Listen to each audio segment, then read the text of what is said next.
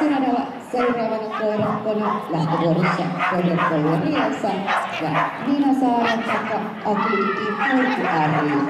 Valmistautuu 377 Hokku 378 378 Suvi ja 379 Nadi.